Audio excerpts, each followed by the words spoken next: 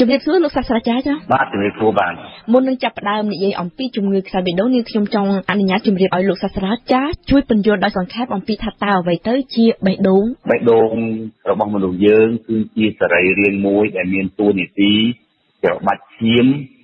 ដូចជាស្នប់ច្របាច់ឈាមយកឈាមទៅចិញ្ចឹមទុកតាមពីកែរបស់យើងបាទ ចឹងខ្សោយបេះដូងបានន័យថាបេះដូងនោះมันធ្វើដំណើរការតាមអ្វីដែលជាទូនីតិដើមរបស់ខ្លួនឬក៏យ៉ាងណាចា៎បាទនៅពេលណាដែលគេហៅថាជំងឺខ្សោយបេះដូងហ្នឹងគឺជាការធ្លាក់ចុះឬក៏ខ្សោយខ្សោយចុះនៅមុខងាររបស់បេះដូងក្នុងការនាំឈាមទៅចិញ្ចឹមសរីរាង្គនៃខ្លួនរបស់យើងបាទហើយជំងឺខ្សោយបេះដូងនេះគឺជាបញ្ហាចម្បងរបស់សុខភាពសាធារណៈបច្ចុប្បន្នបាទចាតើថាហេតុអីបានជាបេះដូងមនុស្សរបស់យើងនឹងវាជួបហានិភ័យបែបនេះចា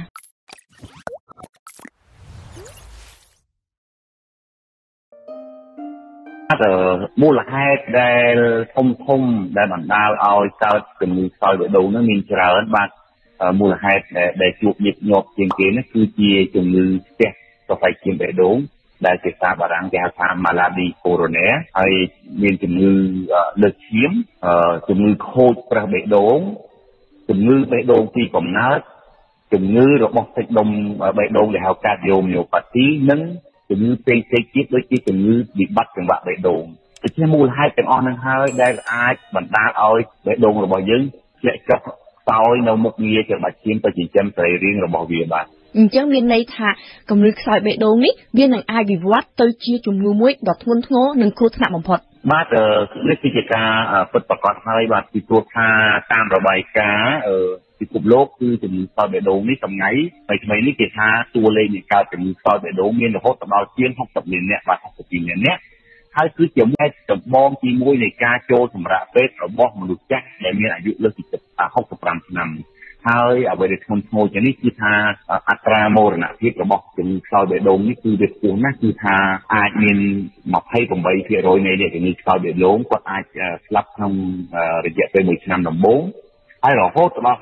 50%អាចស្លាប់ក្នុងរយៈពេល5ឆ្នាំតទៅធ្វើរោគវិនិច្ឆ័យបាទចាបើបើយើងនិយាយអំពីរោគវិនិច្ឆ័យនេះតើតើគេអាចសម្គាល់ថាតើយើងមានជំងឺកំពុងតែប្រឈមឬក៏មានរោគឆ្កាជំងឺខ្សោយបេះដូងនោះបានដែរទេឬឬក៏មានរោគសញ្ញាអ្វីខ្លះតែដែលយើងអាចគួរតែដឹងបាទអឺពិតប្រាកដណាស់គឺថា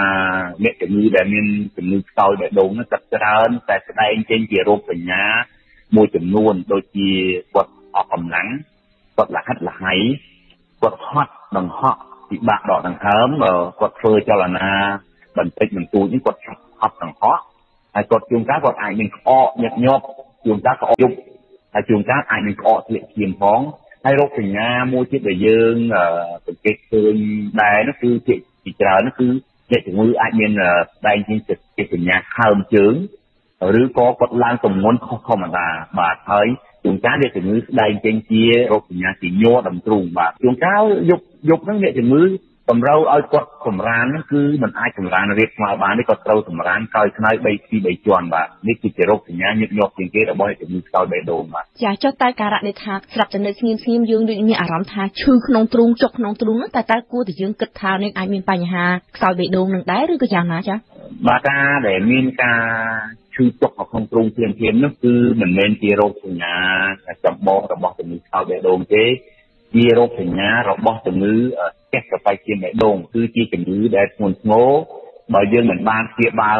ឲ្យបានត្រឹមត្រូវទេអ្នកជំងឺអាចជួបថ្នាក់ដល់អាយុជីវិតឬក៏អាចវិវត្តទៅដល់ជំងឺបេះដូងដែរបាទគេនិយាយថាការព្យាបាលជំងឺខ្សោយបេះដូងនេះគឺរំពឹងតែខ្លាំងបំផុតទៅលើអនាម័យនិងរបៀបរបបរស់នៅត្រង់ចំណុចនេះលោកសាស្ត្រាចារ្យបញ្យល់យ៉ាងណាដែរចា៎បាទនេះជាការពិតណាស់ពីព្រោះថាក្រោយពីលោកគ្រូពេទ្យលោកធ្វើរោគវិនិច្ឆ័យជំងឺខ្សោយបេះដូងដែលយើងអាចធ្វើបានដោយការថត X-ray ឬក៏ការថតចង្វាក់បេះដូងគេហៅថា electrocardiography ឬការពិនិត្យឈាមឬជួនកាលអ្នកថត echo cardiography echo បេះដូងហ្នឹង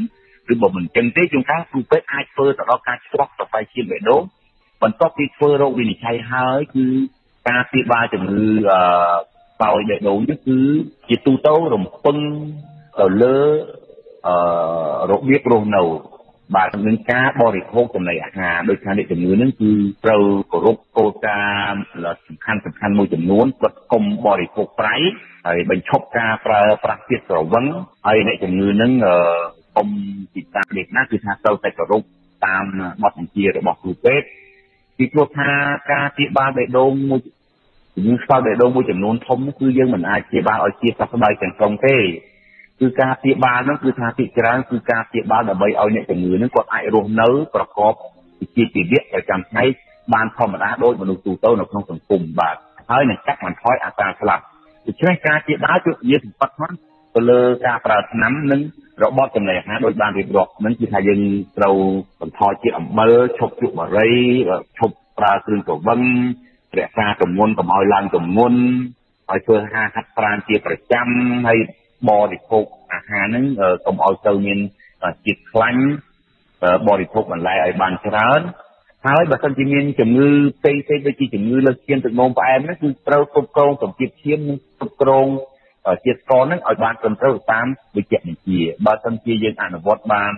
រហ័សនឹងការអនុវត្តខាងលើនេះគឺយើងអាចកាត់បន្ថយបានយ៉ាងខ្លាំងនៅគ្រោះថ្នាក់ដោយសារជំងឺខ្សោយបេះដូងនឹងហើយការព្យាបាលដែលត្រូវធ្វើការវះកាត់នោះក៏មានដែរដូចជាក្នុងករណីដែលជំងឺគាត់ផ្ទះសរសៃបេះដូងយើងអាចធ្វើការព្យាបាលដោយពង្រីកសរសៃបេះដូងឬក៏វះកាត់តសរសៃបេះដូងគេហៅថាពងតាកូរ៉ូណែហ្នឹងឬក៏បើសិនជាអ្នកជំងឺនឹងគាត់អាចមានខូចប្រេះបេះដូងឬឈឺបេះដូងពីកំណើតគឺធ្វើការវះកាត់ខ្លះ បេះដូងទៅអាចធ្វើឲ្យអ្នកជំងឺនឹងប្រសើរឡើងបាទហើយជួនកាលជួនកាលគឺថាការព្យាបាលហ្នឹងនៅប្រទេសជឿនលឿនគេដល់ដំណាក់កាលចុងក្រោយគេទាមទារធ្វើការព្យាបាលរហូតដល់ការធ្វើការផ្លាស់ប្ដូរបេះដូងហៅថាស្រង់ស្រង់ប្រព័ន្ធការរយៈបាទ ចាចាអំបញ្ញមិញលោកសាស្ត្រាចារ្យមានប្រសាសន៍ថាគឺត្រូវធ្វើកីឡាក៏ប៉ុន្តែអំបញ្ញមិញយើងនិយាយឲ្យថាបើសិនជាគាត់មានបញ្ហាបេះដូងគាត់អាចកង្ហក់ហត់អញ្ចឹងតើគាត់ធ្វើកីឡាបានយ៉ាងម៉េចទៅចាបាទចំពោះបញ្ហាកីឡានេះយើងចង់និយាយថាគាត់ហត់កង្ហក់នេះនៅបន្ទាប់ពីការព្យាបាល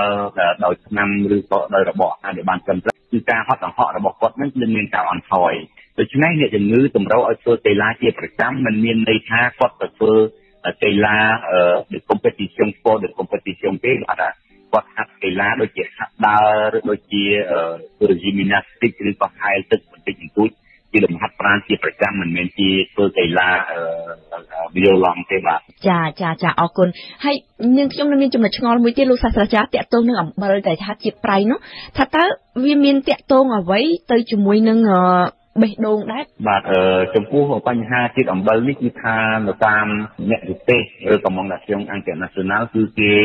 ណែនាំឲ្យយើងប្រើអំបិលនឹងឲ្យលើសពីមួយថ្ងៃ1500មីលីក្រាមបាទថានៅពេលដែលយើងប្រើប្រាស់ជាតិអំបិលច្រើនគឺថាអំបិលនឹងវានឹងទាញជាតិទឹកសូដ្យូមវានឹងទាញជាតិទឹកចូលមកក្នុងសរសៃឈាមដូច្នេះធ្វើឲ្យបេះដូងយើងកំពុងតែចុះខ្សោយនៅមុខងារច្របាច់ធ្វើឲ្យ មុខងារច្បាច់របស់បេះដូងនឹងកាន់កោដូច្នេះបណ្ដាលឲ្យអ្នកជំងឺនឹងធ្វើទុកកាន់តែខ្លាំងបាទបាទចាចា